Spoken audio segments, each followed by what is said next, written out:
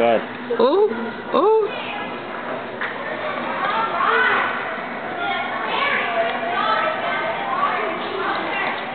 Well, that's good.